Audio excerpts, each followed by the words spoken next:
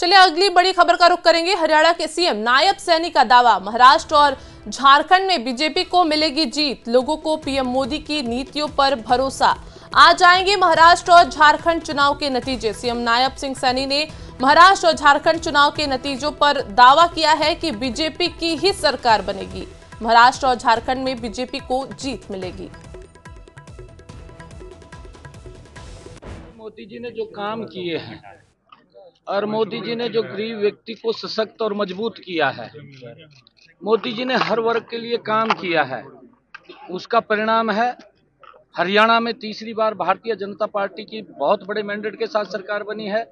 महाराष्ट्र और झारखंड के अंदर भी बहुत बड़े मैंडेट के साथ वहाँ पर भारतीय जनता पार्टी की सरकार बनने जा रही है।